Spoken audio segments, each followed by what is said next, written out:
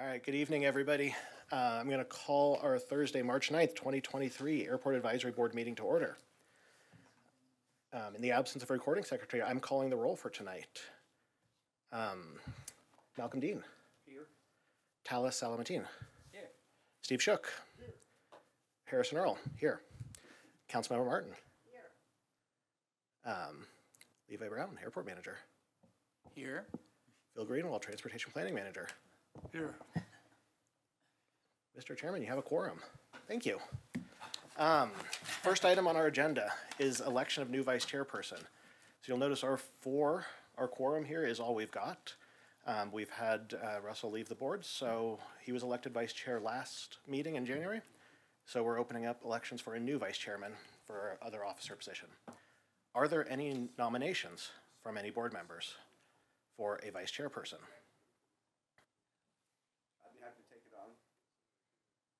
Okay, uh, Mr. Dean, self-nominate, I will second. Okay. Would anyone else? Okay, any further discussion? Motion on the floor. All those in favor of Mr. Dean, elected as vice chairman, say aye, please. Aye. Any opposed? Motion carries. Congratulations, Vice Chair Dean. Next item on our agenda is a public invited to be heard. Anyone is welcome. Um, I will note we have two action items on the agenda. As we have done in past meetings, I'll have a public invited to be heard for each of those action items. So if you'd like to speak about either of those particularly, you are welcome to wait until later. You're also welcome to come forward now if you choose to.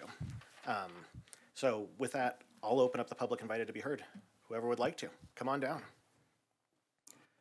Just a reminder of the rules for everyone. You have uh, five minutes. I'm keeping time. Please start with your name and address, address your comments to the board, and please be respectful. Hi, this is Al Manley, nine four zero Rangeview Lane, eight zero five zero one, Longmont. Uh, just one thing here, um, uh, I'm going through a lease renewal on the south side. This would be the first, uh, as far as I'm aware of, the first leases, uh, that are up for renewal on the south side. And I just have a brief statement here, comment, a question, etc. Uh, the two Victor Two hangar owners, hangar owners association leases on the south side have reached the initial, initial lease term of twenty years. We, the two Victor Two HOA, wanted to renew the existing lease for another twenty years, but that wasn't offered as an option as stated in the lease. In place of the renewal, we received a draft copy of the new hangar lease template. Comparing the, the two lease documents, the existing lease that was approved at the December 2022 City Council meeting and the draft template that was received, we noticed a modification that didn't match, you know, between the two documents. So my question is, should the unapproved modified version of the draft lease be used in place of the master lease that was approved by the city council in December of twenty twenty-two? And if the answer is yes, uh, just a follow-on question, um, comment, it seems to me if the master lease can be modified without city council approval, you know, the, the formal process of the city to approve these documents, doesn't that diminish the integrity of the master lease itself? Thank you. Thank you. Would anyone else like to uh, come forward and speak? The first public invited to be heard.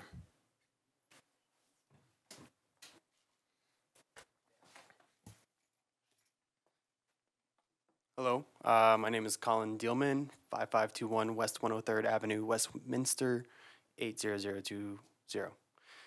Um, this is my first uh, approach to the board, but um, I have interest in becoming the new um, FBO on the airport. I am uh, speaking with uh, Chuck and Julie Myers of Elite Aviation and just looking for some advice on um, negotiations on the terms, um, any future or current um, considerations of the land leases or anything associated with the hangar, the FBO, and whatnot. Just seeking advice um, because I have not been here for any other board meetings and would just like to catch up, I guess. So, um, thank you for your time. Thank you very much. Any other public invited to be heard?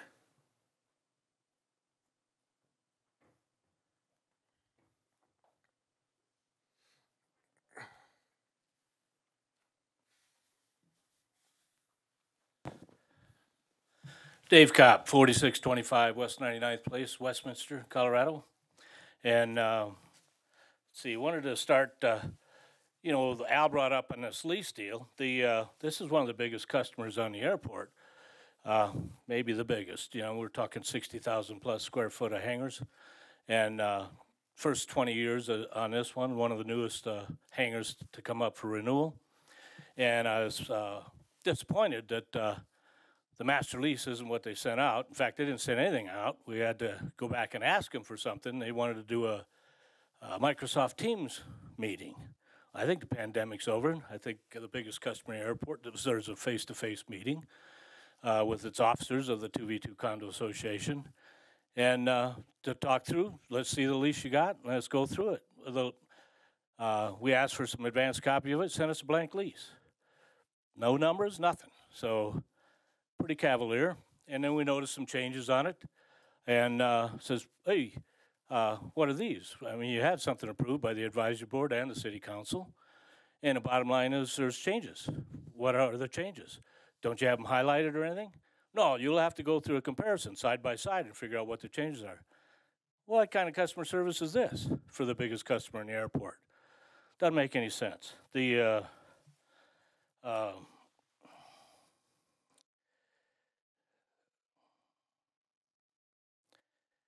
we don't know what other changes are in there. We haven't gone through them side by side. The, uh, the one thing we did notice is that there's a million dollar liability for all personal vehicles on the airport. Well, I've flown into a lot of airports. I've been, I've had hangars on two airports in Colorado, here in Jefferson County, now called Metro, and they don't have a million dollar liability on personal vehicles. You get a badge, you get, you just follow Colorado law, right? Hundred thousand dollar liability is comfortable for the whole rest of the airport, airports in Colorado, and everywhere I've ever landed. Never question. In fact, most of the places I land, they give me a courtesy car. They don't even care if I got a driver's license or insurance. Of course, they're not the nicest cars, but they're a car. They'll get you from A to B. The um, and along with that, if you look at this new lease, 21.10 says that uh, this the lease shall be governed and construed by the laws of Colorado. Well, the laws of Colorado say $100,000 liability is fine for the rest of the world. What the hell's wrong with us? You can't possibly manage this. You can't. Co- the visitors that come in, you're going to card them and see what if they got a million dollar liability. What about the skydivers? You got half the south side over there. You don't monitor anything in or out of there. Ridiculous.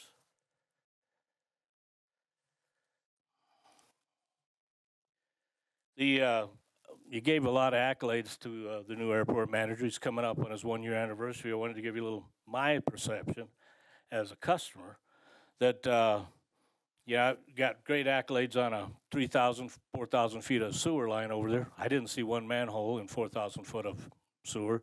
You can't even jet 4,000 feet of sewer. So those should have been added. When the last uh, modernization of the water and sewer was done, at Longmont. They included both water and sewer. No water was added back over there. So now the expectation is you're going to attract a developer uh, and ask them to come up with a million and a half dollars for uh, upfront for uh, uh, storm sewer drainage, raise the elevation. You're not going to attract anybody, and you got no water over there. And the existing customers that are down there that want water got got roughed in and everything. You didn't even do any half taps on these things. Now you got to do a 180 degree loop to get back to the new plan where the sewer line is. So the bottom line, I don't think uh, I would grade him very high in this performance, even though the sewer is in. And now we got new grass seed, but no manholes, no half taps, no idea. You gotta, you're gonna have to uh, radio code out where the hell the sewer line is, dig back down to it to get tied to it.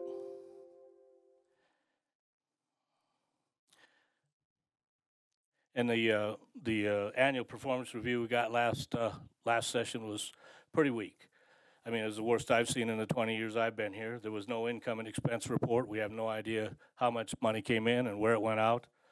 I see fifty thousand dollar Bobcats sitting out there that somehow we're paying for, not in use. The, uh, no awareness of what the, uh, real plans are coming up, what kind of grants we got approved.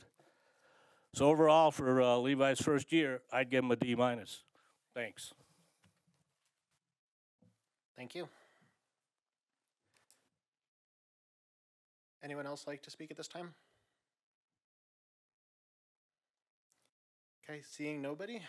Next item on our agenda is approval of our January 2023 minutes. Do any board members have any comments, revisions, anything they'd like to see changed? No? I have, I think, one.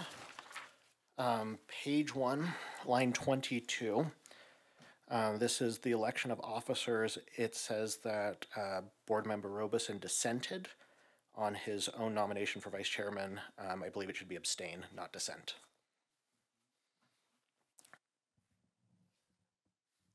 If there's nothing else, I would entertain a motion to approve the minutes with, um, that amendment. Hold on. Is that, um, Mr. Shook? Oh, Sorry, a motion to approve the minutes as written, or with the, uh, with the amendment. Moved and seconded. Thank you. Um, any further discussion? All those in favor, say aye. Aye. Any opposed? Thank you. Item six, updates from the airport manager. Levi. All right. I've got a few updates for you guys uh, this week. I'll go through them, and if there's any questions, I'll just go through them A, B, C, D. If you have any questions, I'll leave a little spot at the end of each one there for you guys. Uh, Southwest Sewer Project is pretty much all wrapped up. Just processing paperwork this week to close out on that project. Um, they did also get the grass seed planted, and then they got hay down put on it, so everything's buttoned up. Um, it's all passed inspection. Uh, things are looking really good. Um, a little bit of a project left. Just need to double check, make sure we're repairing uh, some of the perimeter road and the turnaround area for the skydiving outfit. But beyond that, um, everything is 100% done. Uh, any questions on the Southwest Sewer project? Mr. Shook. so we heard from Dave Kopp about manholes and things like that. Can you comment on that? I can comment from the manholes I've inspected myself. There's at least two along the route. I think there's actually a third. There's one at the terminus also. So there's manholes. In fact, that was one of the things on our cleanup list was we needed to regrade grade around the manholes to make sure that they were to spec. We had a gap of about four inches. We wanted them level with the rest of the ground. Okay. Mr. Dean. Yeah, quick question, Levi. Um, you said you put grass seed down. Was it drought resistant? And what kind of grass seed did you use? It was. Um, we I can't remember the exact one, but we had discussions about that during the meeting as we wanted, of course, low maintenance uh, Colorado native grass out there that would grow naturally. So that was planted, and then proper mitigation to make sure that hopefully it grows the best that it can with the, the hay and stuff like that. That was actually kind of the last thing on the whole list. Really, the project's been done, done, but we've been waiting on uh, March to get that grass in to give it the best chance for for growing come this spring here. Perfect. Thank you much. Anyone else on the sewer project? Go ahead, Levi. All right. Uh, prairie dog mitigation. So, as we've discussed at other airport advisory board meetings. Oh, is it? There we go. A little closer here. Is that better? Yeah. All right, so we've discussed at other uh, airport advisory board meetings, um, we had FAA inspection last year, and there was a, a definitely a concern about the prairie dog holes. Um, so we're pressing forward with doing a complete airport mitigation. Um, plan is, and we've covered this at other meetings, but uh, do a full uh, clean with six PERC machines on every hole in the airport. Come back. Now the plan is two days later and do it all again, do all the dugout holes. The concept being to get just the the hardest hit we can on it, and then the uh, city's wildlife department can hopefully come in after that and keep on top of it. So that's the plan. That is moving forward. Um, we got all the money moved around in the airport budget. We need to do that. POs have been created. Um, we are going to go with, I think in the last minutes, I miss, mentioned The company was, which was it? DHQ Ranch Services, and they will be doing that service. They're going to be starting hopefully Tuesday. So I spoke with him this morning. They're supposed to be out here Tuesday. They'll be here for about a week with their first push. They'll have a couple day pause, and then they'll do another whole airport push. So that's moving forward quickly. Any questions on Prairie Dog? Mr. Dean, hold on, hold on. Let me actually get You get had a, a possible, uh, price that was gonna cost the city for that. Yeah, w- I made the, uh, the PO for forty-three thousand dollars. It's all based on hourly rate, and so it's hard to say exactly what it's gonna be. But that's kind of, uh, our best guess. The, they put it up, we had the wildlife guys kind of assess it based on their hourly rate and what they'd be doing, and they said, yeah, that looks pretty close. So that's where we're sitting at right now. Perfect, thank you. no one else. Next one, engineering consultant update. Um, I put this on the agenda with the greatest of hopes that I would be able to update more about this, but uh, we are still technically in the cone of silence because of signatures on paper. So I, I know Talis knows more about it because he was part of that process, but technically, via city rules, we're still in the cone of silence. So we can't talk too much about that. I can say that we are incredibly close to the point where I checked this morning um, to see if I could talk about this. And it's it it seems like most things are signed. It's maybe just a transit of paperwork and making sure it's in the right people's hands right now, uh, so we can we can uh, move forward with. Uh, yeah, and we can send out certainly we will send out a communication when that's all all official. I was again in this month's uh, airport update. I had it all prepped up and written up to make the announcement of that engineering consultant, and uh, I had to pull that from the the email kind of last minute. But any any ans- uh, questions on that that I could talk about anyway? Uh, Levi, is that something that has to go to council for their approval once you have No. signatures? Okay. So that's just we've gone through the uh, rather painful process of the the kind of standard procurement pro- uh, through this through the city. So that's supposed to be all we need to do. So really, it's just signatures, and to my understanding, really all that's been signed and done is just really our procurement department making the official announcement that we are out of the cone of silence and can proceed forward. Fair enough. Any questions from anyone? Air show meeting? Okay, air show meeting. So we have set up for Saturday at nine AM at the Public Works and Natural Resources Field Office, which is right next to the airport for you the, who are familiar with it. You might know it if you've ever tried to navigate to the airport by putting it in your uh, map on your cell phone because it takes you to that office instead of the, the, the airport for some reason. Um, but we'll be having a meeting there at nine o'clock Saturday morning, and what we're doing is just trying to get a basic idea of who's interested in helping out on the air show and trying to start organize things to a point where we have an organization that we can move forward with and actually get some things accomplished. So that'll be nine o'clock on Saturday morning. Tell your friends. I sent that out in its own email. I also sent that out in the airport update. And the address and the times and locations are on that also. Have you gotten much response from people saying they're likely to be there? I've gotten two people RSVP'd. Um, I kind of said, hey, please RSVP if, uh, you know, you don't have to, but show up if you don't. Um, Belinda told me actually that she's ha- heard a little bit more about interest.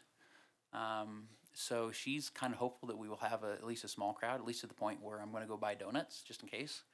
Um, so if anyone else wants to show up just for donut, come, come I was a gonna say donut. should be in the I'm- email, so. I'm getting yeah. La- I'm getting Lamar's. So yeah, exactly. So that'll be Saturday morning, nine AM at the Public Works uh, Field Office. Okay. Any questions on that? Comments from anybody here on that? Oh, there's another one. That's it. That's RSVP. I'll consider that. All right. It's not. It's hard. I like put the address in the communications. Yeah. Okay, seeing nobody else there, um, Levi, anything else on your update? Uh, that's what I got. Yep.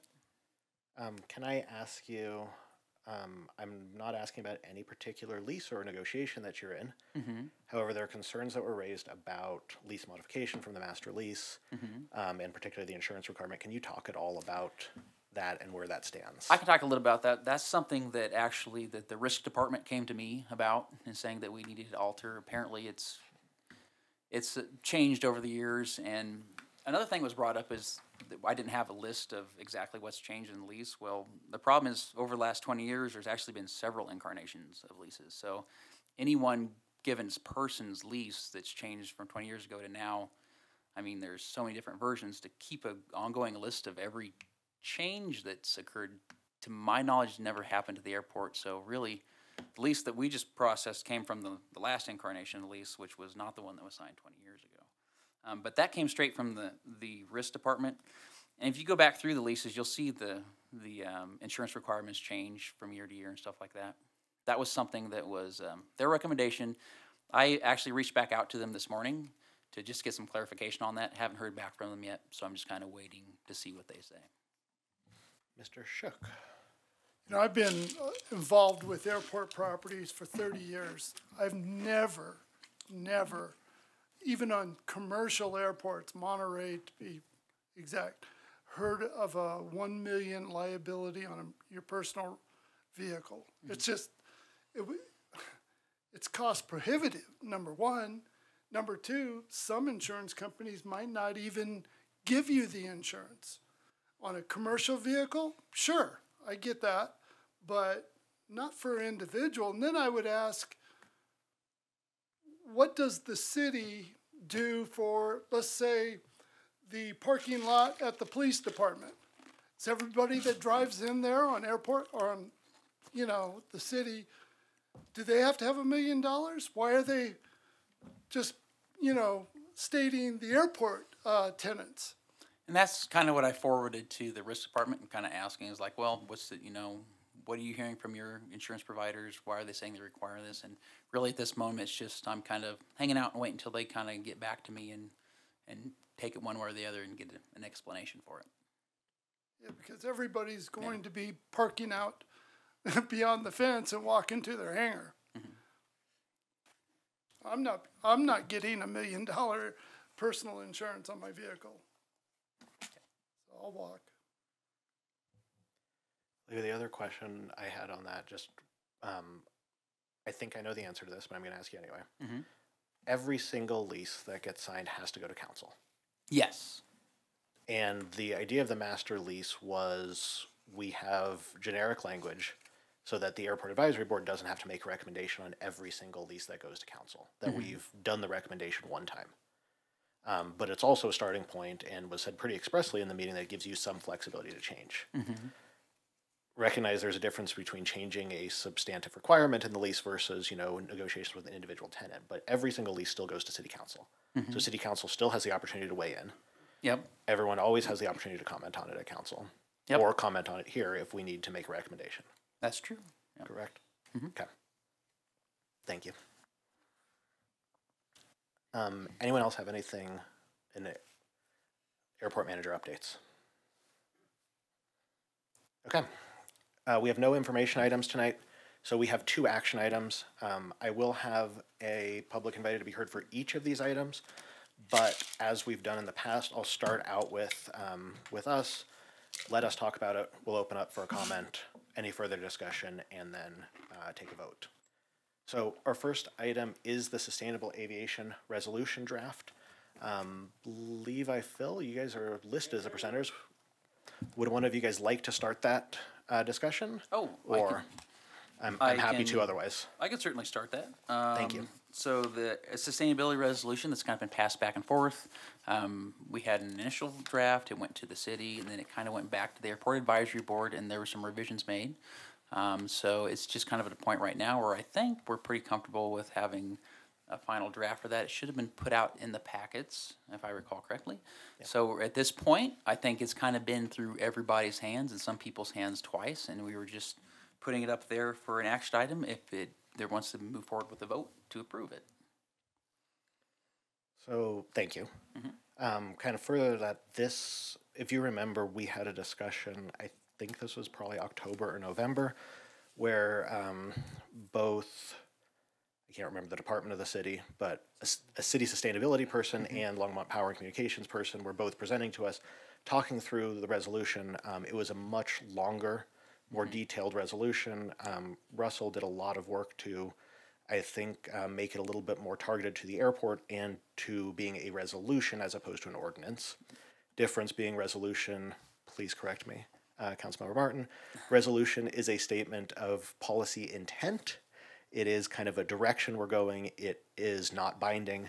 It doesn't hold us to anything, but it kind of expresses where we'd like to go forward. Um, thank you.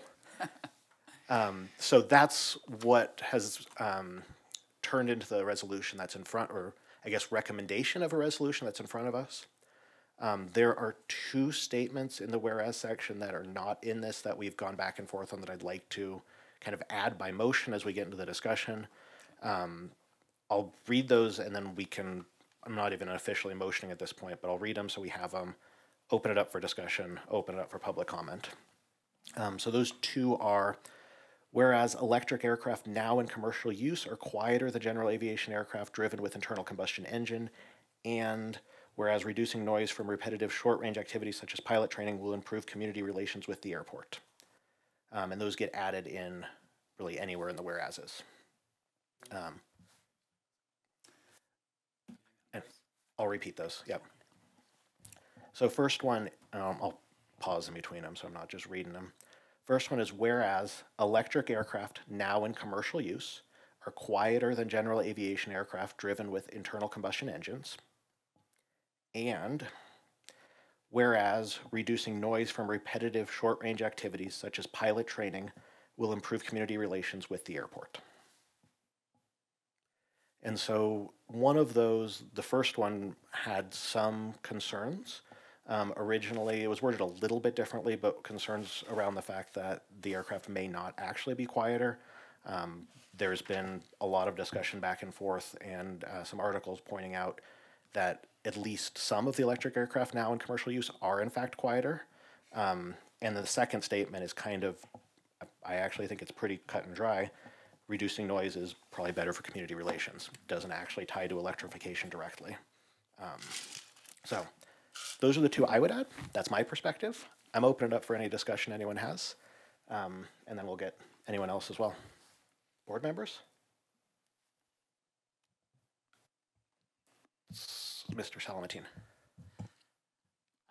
Yeah, I mean, I'm not an expert in electrification of airplanes, but uh, my uh, people who are much smarter than me tell me that it's the propeller that makes most of the sound. So I'm not sure about the first one. And the second one, I think that we should encourage as many people to take up aviation as possible. So we have a future as an airport because if there's not as many people learning how to fly, I am concerned that maybe we are getting ourselves out of an airport. So I think we should uh, not include either of those. And I would respectfully disagree um, with both of those. Um, I recognize that there is a certain baseline of propeller noise. Um, I would say new ones are probably quieter, but even so, combustion engines certainly generate their own noise. Um, and I absolutely agree. I do not want to discourage anybody from getting into aviation. Would like more and more of it, but um, I would say quieter is probably better for the community. Period. And again, no um, no policy from this, no requirements from this, but I would generally say having a quieter airport is a good thing. Uh, Mr. Dean. Yeah, um, I do think a quieter airport would help. I, I know people that, you know, complain about the noise, but I don't know why they move next to an airport. Um, but has there been any studies for actual decibels? That, I mean, you can say loud, quiet, it's, it's just ambiguous. You know, what's loud to me might not be loud to you. Do we have any actual, um, measurements that are actually, uh, have been taken to qual- quantify or qualify what would be, um, how, how quiet or how loud an electric aircraft actually is?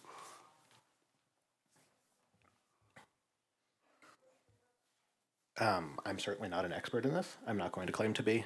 Um, but the I have read several articles talking about specific aircraft that are in operation. They're not FAA certified. Okay, So they're in operation elsewhere in the world that are in fact quieter, but I can't give you a decibel number. okay. Um, Councilmember Martin. Thank you, Mr. Chair. Uh, I would say, uh, you can drill down as far as you want in terms of modern propeller design and how much less noise they make. Um, but it's not really appropriate in a resolution to say any more than quieter, because unlike in an ordinance where, you know, at some time in the future, we might want to restrict the airport to, you know, certain propeller designs, although I don't think we can. I think the FAA would have to do that. But that's ordinance stuff. The fact that, that we know that much quieter propeller technology is out there is really enough to, to put it in a resolution. Um, and, you know, as, as far as engine noise, well, electric planes don't have engines, they have motors, and if you've walked past to a, a Tesla when it's pulling out of a parking place, you know that they are dead silent. So, um, I don't, I don't really, um, I, I researched this when, when, um, Russell was not able to, to, to finish up. And, uh, uh, I did it with John Grunsfeld, uh, who, who, you know, is that kind of an engineer and, and would know. And so I think we're pretty safe in saying that the propeller noise is quieter. Thank you, Councilmember Martin. Um, Tells I hit that one more time. Nope, you're good. Mr. Salamatine. Uh, that's a great point, Councilmember Martin. Uh, you're right, it's the propeller that's the main function of that, right? So associating that with the type of engine may not make as much sense, but I'm all for mitigating noise whenever possible. I just want to make sure that we're not um, preventing people from using the airport in ways that could pr- uh, produce economic gain, i.e., training others to use the airport, hopefully creating more use of the airport, right? Councilmember Martin. Yeah, thank you. A, a resolution actually can't do that. You know, uh, again, as, as uh, Harrison explained, it's a statement of intent, and there's, if you read it through, there's nothing in it that says a classical airplane can't use this airport. You know, the FAA has rules that says, you know, if it, if it requires too long a runway, it can't use this airport. And that's about the only restriction, um, that, that we've got, and it's not something that the city can impose. So there, there's not any, any reason to worry about passing this restricting the use of the airport. Um, and by the way, the, the first, um, electric plane likely, I mean, something could get ahead, but the first plane likely to be certified for use by the FAA in the United States is a training plane because they want to train more pilots and it's very much cheaper to use this kind of plane for training because the fuel costs aren't there. Mr. Shook. I'm not a, a proponent of electric aircraft, number one. Um, to me, being at a 5,000 foot elevation airport, the amount of battery and you know the weight of the batteries, the thrust, I think it would be dangerous to be honest with you. Um, again, I I haven't read too many articles, and um, I just think that I don't know. I think we're a little early uh, for that type of uh, aircraft here at Longmont. Myself, that's I would agree with you, we're early, but I don't know that that's a bad thing. I think that's, I mean, so my personal perspective, um, one, just because it was brought up, strongly would disagree with any resolution, ordinance, anything that attempts to restrict any particular type of aircraft from operating at the airport, period. Full stop. Two, electrification is coming. The technology is not there today. It may not be appropriate at Longmont today or tomorrow or, you know, one or two years down the road but the city has made a i think push across the city to, towards sustainability it's a priority of the council um, there is going to be resolutions like this coming, and I'd like it to be ones that reflect the best reality in aviation today from the experts. Um, and we are those experts for the city. Um, I also think setting ourselves apart from other airports and being on that cutting edge is a good thing for us. Even if none of that comes to pass, this doesn't restrict anything.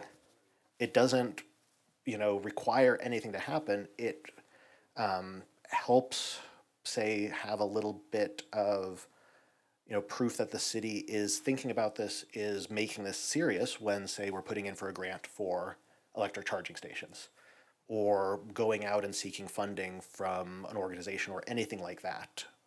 It does nothing beyond that, period.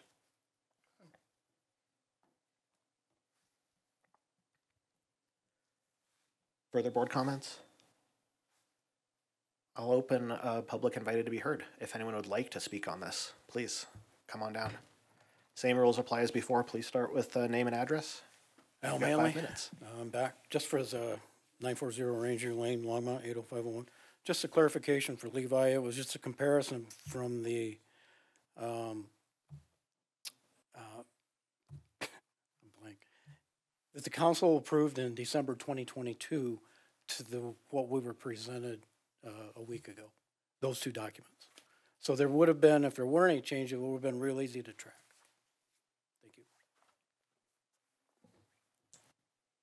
Anyone else? And I would um, just suggest we stick to the resolution. There is still another public invited to be heard at the end for any other business. Hi, my name, my name is Rick Basselier. I live at four twenty Nebraska Avenue in Berthoud, eight zero five one three. I'd like to speak to the lease issue. It seems like things are still pretty fluid, that nothing's down in, in, uh, concrete yet as far as twenty years, twenty-five years renewals. Uh, one thing that's just come to public knowledge is that, uh, Fort Collins Loveland Airport is offering to the public 50 year leases, inexpensive leases. And that's the way their, their term is. So I just like to, if you would, uh, take that into consideration when you're, uh, you know, working on the fluidity of this lease. Thank you. Thank you. Melinda. Melinda Jordan, eleven ten Twin Peaks Circle, Longmont. Um, to the, um, resolution. I live, uh, in, uh, downwind, if you're heading in for one-one, and I can assure you that I can't hear propeller noise because the engine noise is so loud. And so, especially when, uh, you pull back, you know, you're at, at the mark and you pull back and a lot of backfire. And uh, so I, I do, uh, I believe that the engine noise uh, on a carbureted engine, internal combustion engine, is um, considerably higher than anything the prop is going to produce. And then the resolution was um, not like grandfathering out any types of aircraft. We'll still have jets. We'll still have, you know, vintage aircraft uh, paraglide, uh, powered parachutes and other things that make a lot of noise that don't have a noisy prop. Um, I understand the master plan has the decibel level listed for what's acceptable. The and I know we that was all challenged with Mile High, um, so that's all on the record. I want to say it's like 65, but that's just a guess. Okay, so that was all challenged with Mile High, and so that's already been vetted for the um, the noise level that's allowed and acceptable. And while I'm not one to uh, want more government and more documents and more regulation, um, I was en- encouraged by this that we could be at the forefront. Um, as Harrison was saying, let's get at the front of it. Let's be the first ones. It's going to be training aircraft. We pretty well can see that that's that's where it's going to begin.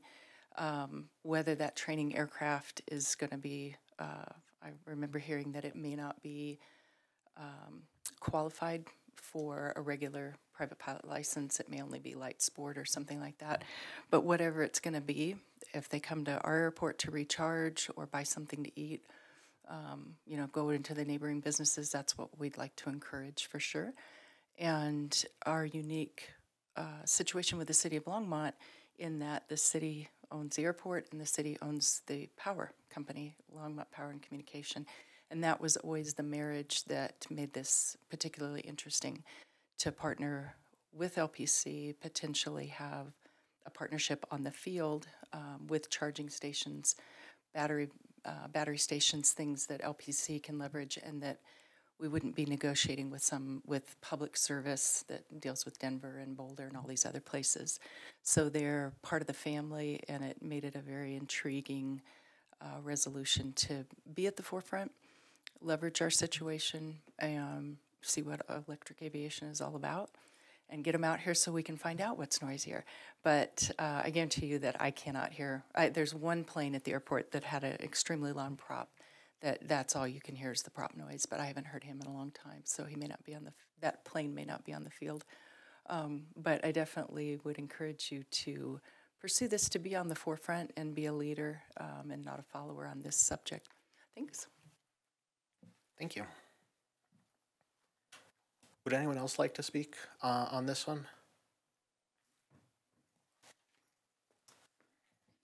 Hi, uh, Colin Dealman, 5521 West 103rd Avenue, uh, Westminster, 80020. Um, again, I'm, I'm a little bit new to the meetings. Um, I missed that second part about the flight training. Uh, if that could be presented once more, if that's possible. We're not supposed to have a back and forth here. Are you asking just for the whereases that we read? Or? Yeah, yeah. What, what was that actually, that, that new revision? Okay, I'm just going to read that. Um, whereas reducing noise from repetitive, short range activities, such as pilot training, will improve community relations with the airport.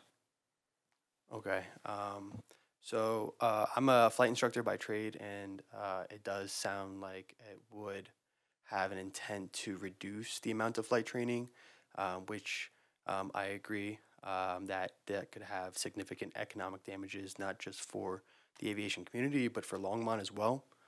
Um, and if we want to uh, grow uh, Vance Brand as an airport and a transportation hub, um, I believe that is going to be the hallmark for Vance Brand. Uh, as for electric batteries, um, I believe we do need to move uh, forward in technology.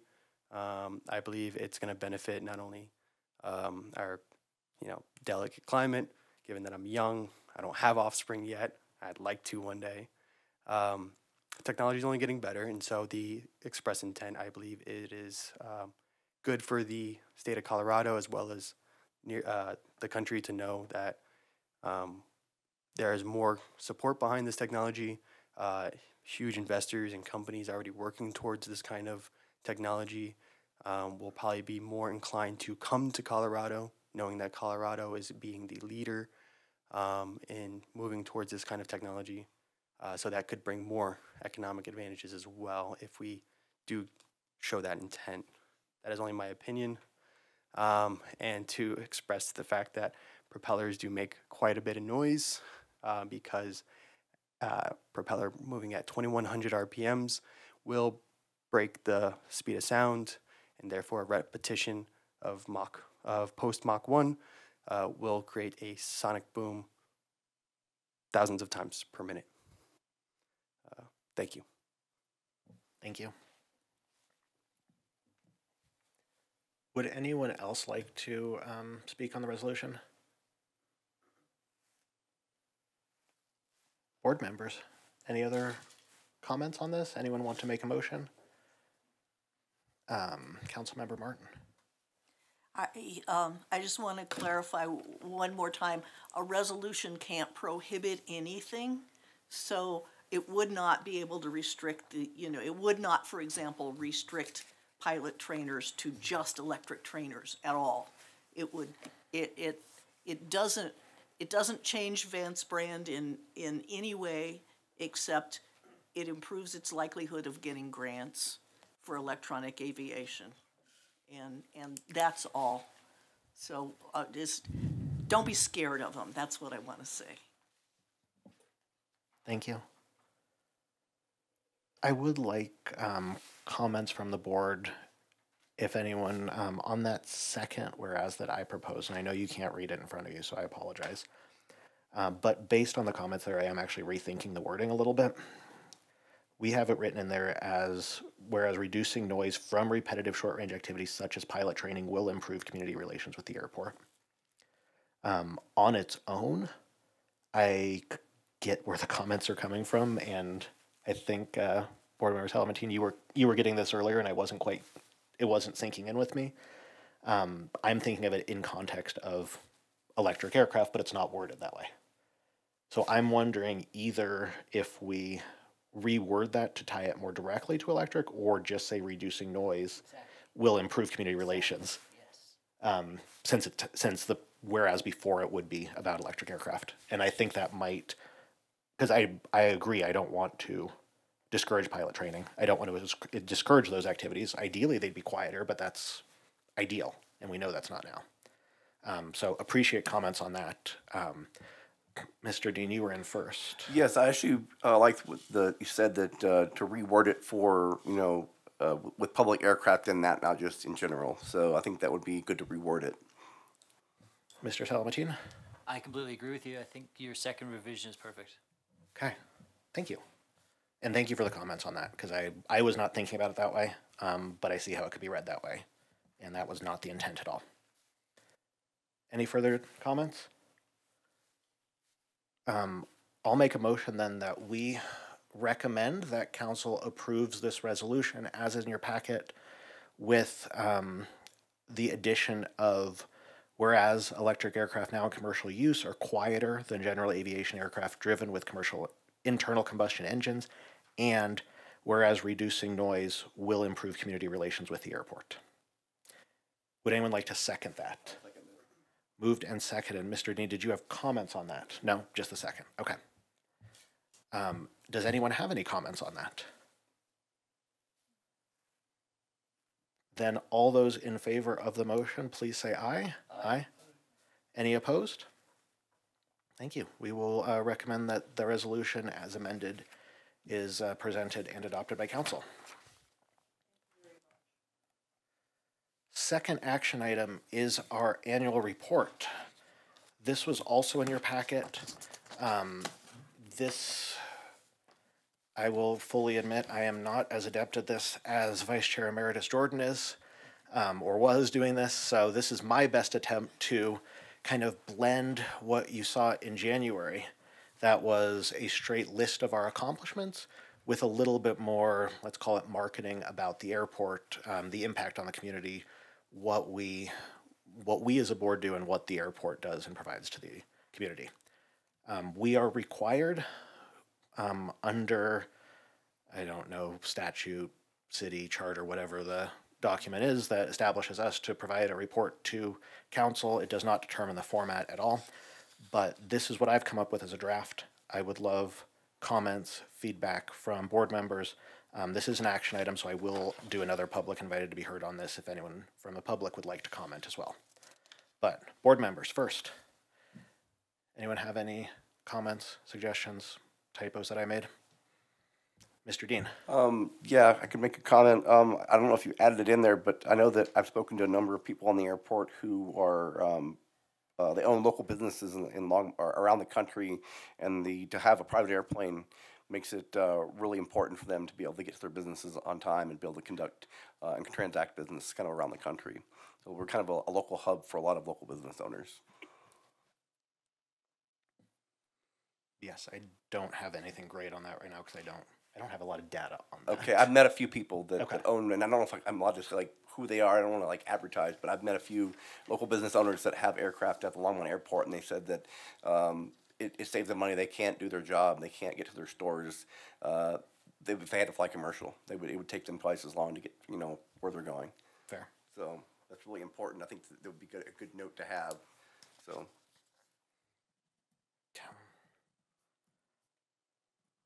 Anyone else?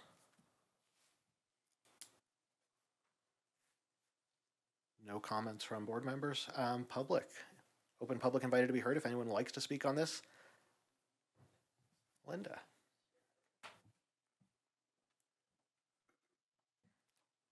Linda, I welcome your comments, but don't um, on my lack of making this as nice as yours. Melinda Jordan, eleven ten Twin Peaks Circle, Longmont.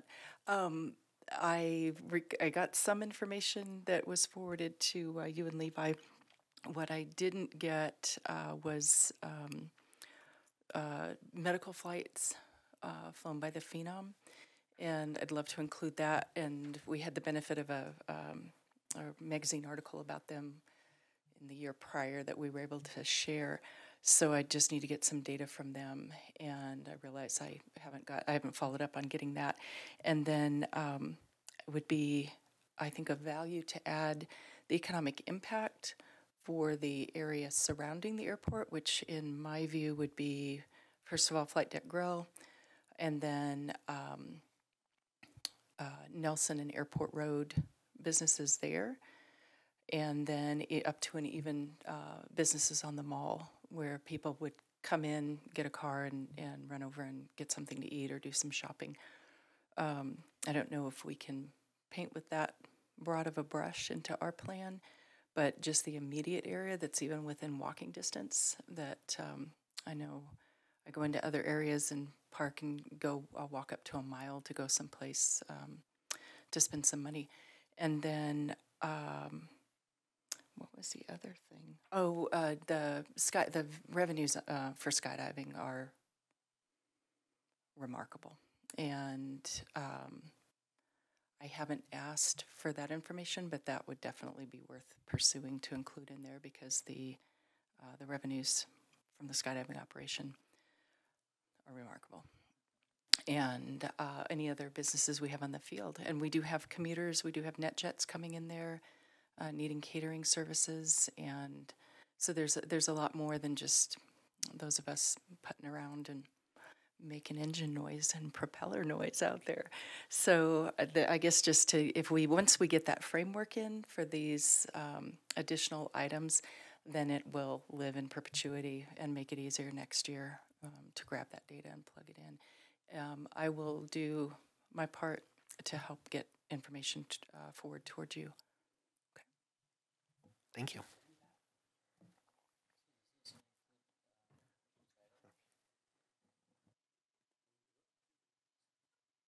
Um, Colin Dealman, uh, 5521 West 103rd Avenue, Westminster. Um, I kind of feel like a bother now, but um, I just wanted to express that, um, as stated earlier, I do have interest um, in becoming the new uh, fixed based operator. And so uh, many of this is already in my interest, uh, such as uh, attracting um, those to Vance Brand uh, as a hub so that they we can actually benefit the local communities. Um, I've already considered um, ways to uh, increase transportation from the airport to the local businesses. Many ideas. While a car rental is convenient, we also do want to think about sustainability. And I do have um, connections to get uh, electric bikes that can charge in outlets. No um, actual needed extra infrastructure to charge those. Just need an outlet. Um, and uh, let's see what else. Um, I do have catering interests, um, while they may not be directly mine. Um, I do intend to have some sort of um, food service um, around the uh, fixed based operation around the FBO.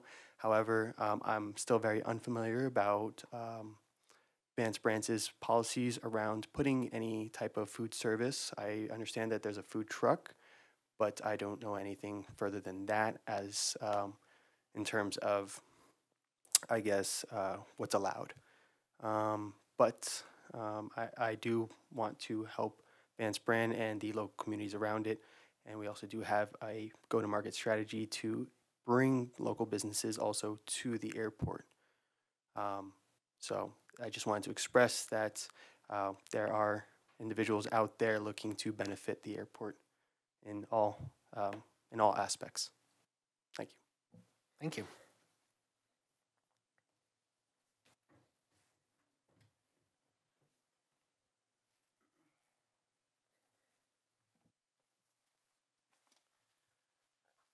Uh, Dave Kopp, same address. The, um, annual report is still severely missing data that's usable. I mean, it's a lot of blue sky, wonderful stuff, but we still need to know where the money is coming in and where it's being spent. There's no profit and loss statement. All it is is, here's what we plan to do. I don't know where the money's being wasted, but I've certainly seen some uh, very wasteful things being done. And just FYI, uh, I've searched commercial airlines that are electric, and there are none in service. There is none approved in Canada or the US uh, by the FAA, so they're all doing point-to-point testing, but nothing's carrying people for hire yet.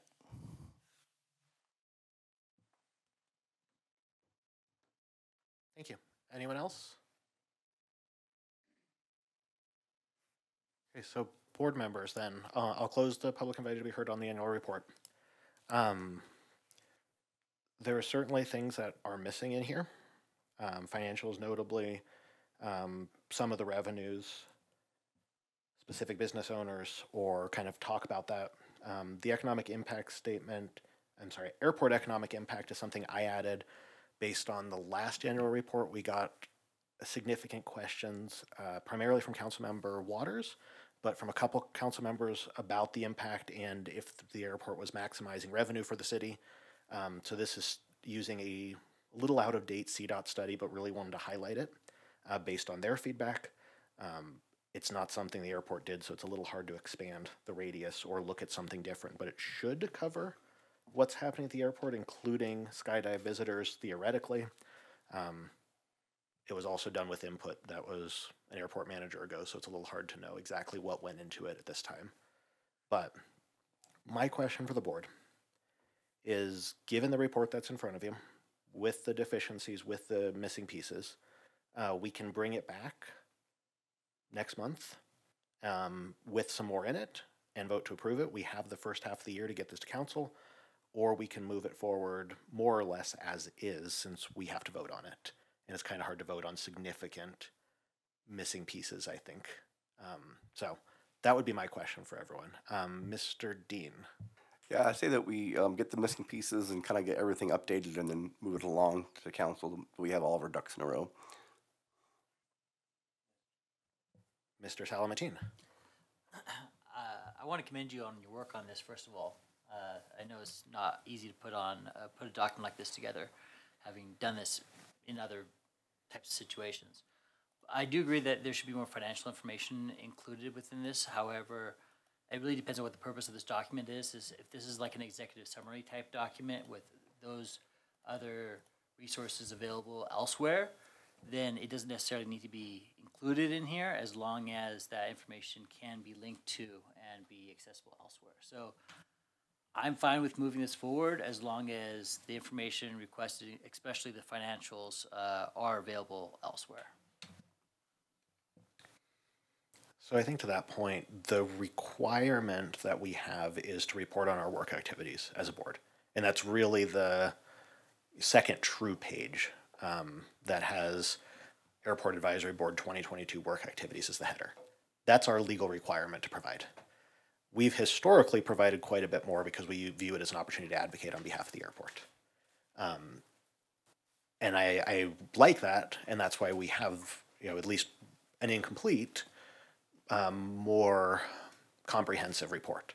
But our legal requirement is not even this. It's tell council what we've done for the year. So I, I would argue this meets the requirement. Um, I certainly argue, though, it could be better and absolutely can be more comprehensive and tell a better story. Um, Councilmember Martin, my question, I guess, for you is a little bit on timing. Um, I'd certainly like you to have this before you start talking about budget for the next year. Um, and I don't know if, if we're voting on this next month, that means you see it probably in May, if that's appropriate timing, or if doing it faster is um, more relevant. Yeah, actually, um, the, the budget cycle is not important to council for May.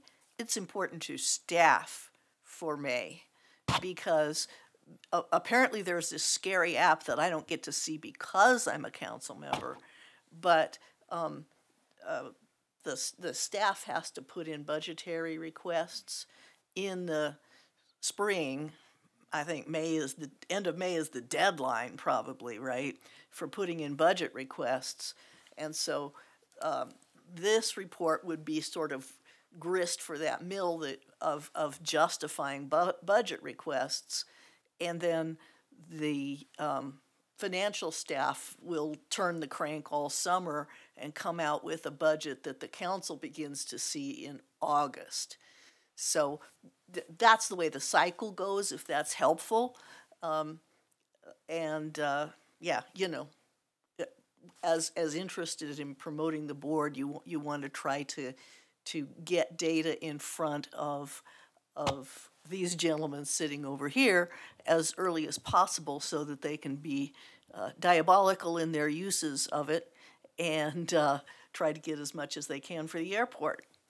Um, but uh, in terms of its being official, mm, not so much, you know. So so the work could could continue for the next month or so because it doesn't have to match up match up on a going to cycle or going to council cycle. Sorry about that. Uh, but but you do you do want them to, to have their hands on whatever uh, case you can make for the airport. Fair. That's very helpful. Um, then I think I would turn the question to Levi and Phil of I think you guys have heard loudly from the community, from the board, some of the desires um, for you know, things to do going forward, grants, CIP, etc.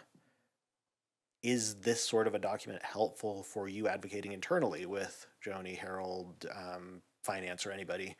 Or does it matter if this is a couple months behind and council sees it when they're actually approving budgets?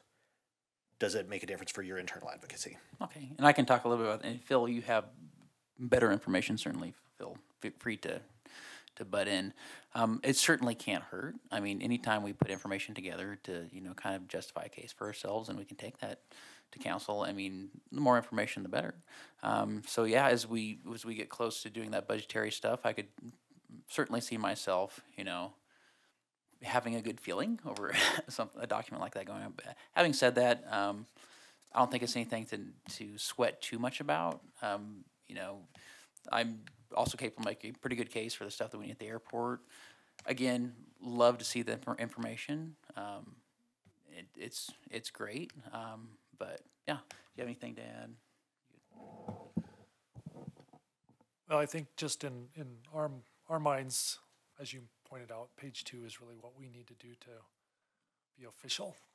And the other pieces of this are very helpful when we are writing grants to put that information into those grant requests. So as we're going forward, as we're working with the FAA and CDOT and other folks, we can refer back to this and have a good baseline of the other important pieces and aspects of this airport that we can put out there and try to go for additional funds for. But um, again, we've met the, we've met the requirement that we need to keep the board func, you know, keep the board function of, of that report, but the other pieces are gonna be very helpful.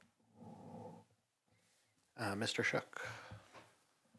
I'd like to uh, commend you on, you know, what we've done so far. I think that if we have a month or so and there's more information that can go in it, I would say we postpone and um, maybe put a little bit more in there if it's possible.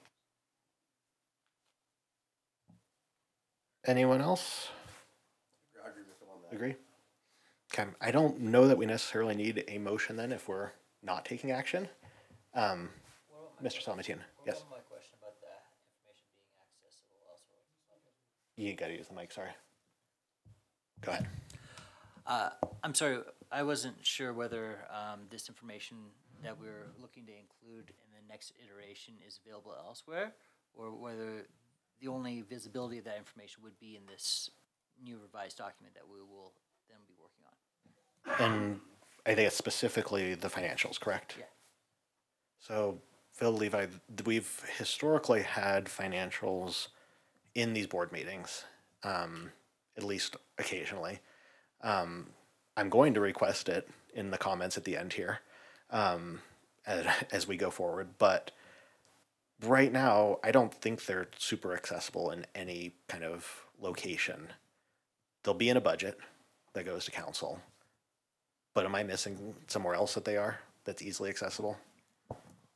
We're just trying to keep um, the boards and commissions at the same level of intricacy, I guess, and detail as each other. So this board was asking for the financials, and that's beyond what any other board gets to see. Uh, so we were trying to remain consistent, I think, with all the boards and commissions and, and keep that. Uh, that's really something that's done more at the staff level to take care of those is- issues. Uh, this board is not at that level of um, being able to make recommendations on how to spend dollars, except when we get to the budget piece, when we ask you specific items that need to go to the, go into the budget. But when it gets to the very specifics about how dollars are spent day to day, that's really Levi's purview. So um, we've been asked specifically by our city management to not keep going with those financials. So that's part of what's on our, you know, what's, what's kind of driving why we don't keep putting those in. I'm not sure how that started. I guess it was a request maybe from Tim Barth back in the day. And uh, uh, we'll see what we can do, but uh, there's certainly public record. So we have publicly available records that can be provided to this board. So I'm not worried about that. But if we're going to be starting to talk, if this board's starting to get into the idea of, hey, you spent forty-three thousand dollars on prairie dog removal, we think it should be forty thousand dollars. Uh, That's not something we can really deal with at the staff level. We have to do what we need to do per FAA requirements, and so we're, we have to move beyond the detail pieces of that, but we could provide the overview of the financials. No, it's heard. I, I understand that. Um, I would respectfully disagree that uh, this is an enterprise fund and we recommend rates to council. Um, one of our objectives is to increase revenue at the airport. Um, so I do not want to be in the weeds. I do not want to be saying 40, 43,000 or anything like that, but I think having a pulse on it would be valuable.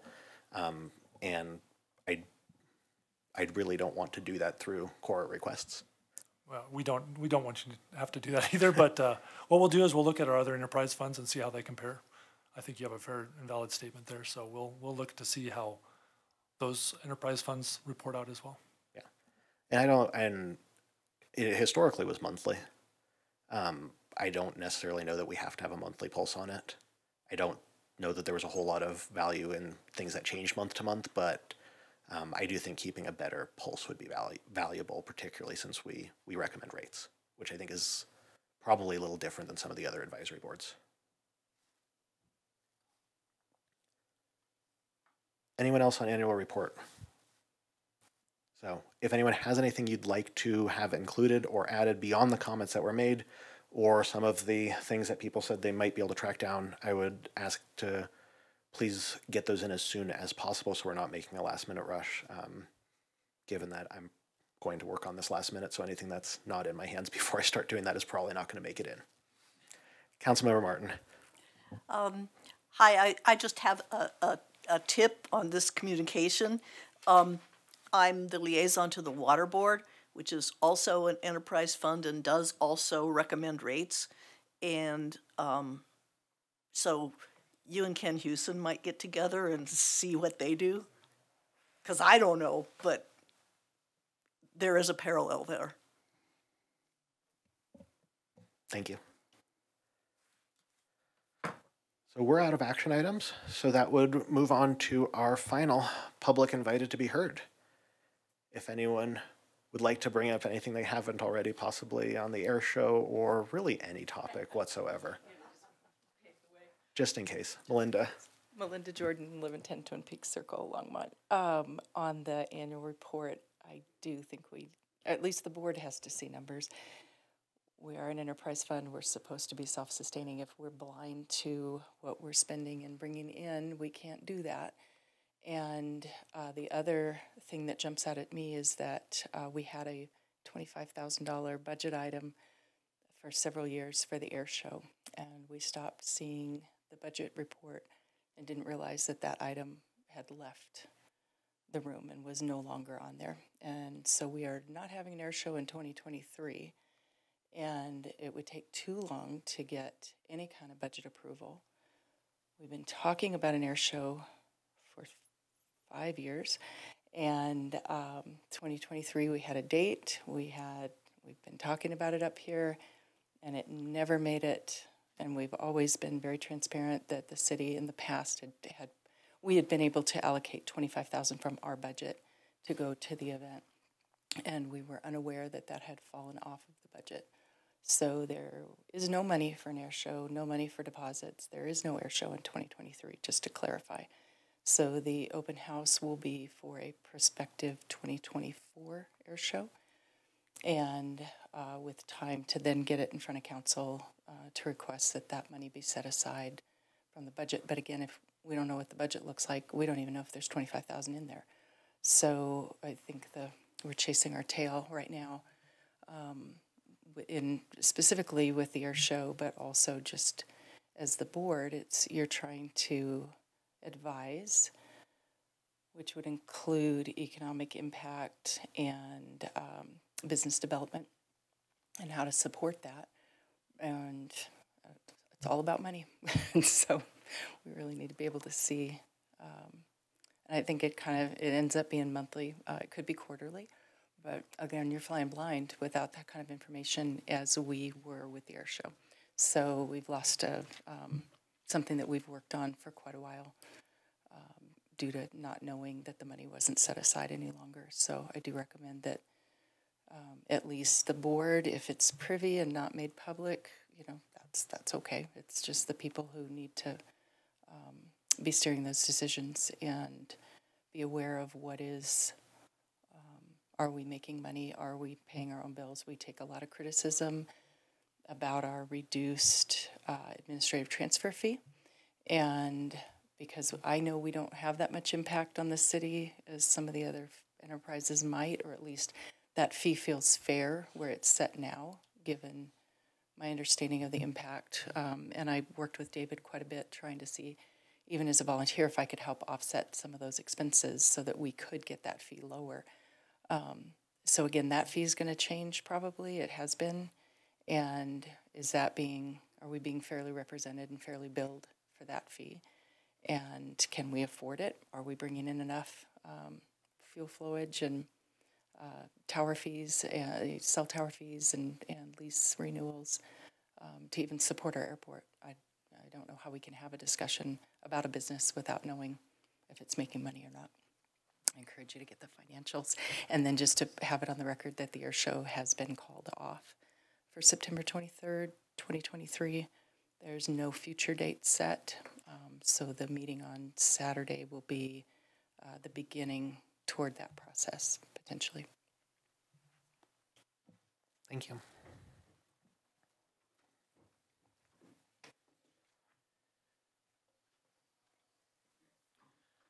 Uh, Dave Kopp again, same address. Uh, I know it sounds like the, uh, prairie dog cost is minor amount, but just in the last two weeks, it's gone from thirty thousand to forty-three thousand. You know, per the discussion I've just heard, and I'm, and I know that Levi's been talking to people at Coffee Break over at Elite that, you know, they stopped dropping prairie dogs off at the airport years ago. Well, I don't believe that's true, and sooner or later, I'm gonna have evidence, somebody else is still dropping them here. And, uh, the bottom line is forty-three thousand is not minor. You know, last time I saw an income statement from here, that was probably ten percent of our income. And it certainly probably matches the, uh, income we get off the, uh, cellular tower. So it's not a huge income that we have, and throwing it away when somebody else is planning these things, and we got cameras, they've got cameras out there, we don't have access to them, they can find out who's doing this. It, they don't just happen, you know, once you get rid of them all, they, somebody's bringing them back. Thank you. Would anyone else like to um, speak at our final public invited to be heard? Seeing no one, I'll close public invited to be heard, and we are on to board, council, and staff comments. Board members first. Mr. Dean. Yeah, for Levi, um, I wasn't aware that they had pulled twenty-five thousand. I thought it was really interesting. Do we have any information to when this occurred and, and who, who or how that happened? If we've traditionally had money set aside for an air show? So the uh, last time that uh, the board voted to actually have an air, air show was actually conducted after budgeting was set for that year. And I'd like to use your question as an opportunity to answer. It was brought up that uh, we just didn't have the money to do it. That's not necessarily true. I actually went to city council and we were going over the progress of getting a procurement to actually get all that money. Um, so getting the money actually isn't a huge deal. It was told to me we could get that certainly by September twenty-third, so that's not that big of a hangup. I think the biggest hangup was we're this far along in the year and essentially no real planning has been done. So, I mean, this meeting we're having Saturday, I was gonna kind of throw it out there to everybody comes, you know, what kind of interest can we get? What kind of, you know, people can we get moving on this? Is September twenty-third an option? My gut tells me that because of where we're at, we're at, probably not. Last time I did an air show, it was two years of planning. Uh, by this point, we were having lots of meetings and we were, were sorting out volunteers and parking and stuff like that. So I don't think it's super practical, but I want to have that discussion with everyone else who's interested in being a part of an air show. Okay, thank you. Other board member uh, comments? Uh, we have on here ideas for future agenda items or 2023 work plan. Any thoughts on either of those? Um, I know we talked through 2023 work plan a little bit in January, so fine if that doesn't change any future agenda items um, beyond having financial updates that we've covered. No. Um, Mr. Salamatine. Hold on. Go ahead. Uh, seeing that we have a ambitious young person interested in taking over the FBO, uh, I know there's a lot of talk from owners. They're dissatisfied, being very dissatisfied with the operations of the current FBO. I think we should talk about what we can do to improve the airport by potentially seeing what we can do by improving the FBO situation. Are you suggesting that's an agenda item for the future? I, it could be. I'm not sure what the process would be for that. Okay. That sounds good. Yeah, definitely make agenda item for the future. Okay. I'm, I'm in favor of having that on a future agenda. Um, I'd probably put that as an information item and we can have a discussion. Anyone else? Councilmember Martin, any uh, other comments from you this evening? Yes, I would just like to thank you for passing the sustainability resolution. Um, it will make some people tomorrow at the city council retreat very happy. I know it was kind of painful getting, you know, everybody aligned that this is a forward-looking thing that's not going to change any anything. So I appreciate you, you know, doing the painful work of getting there.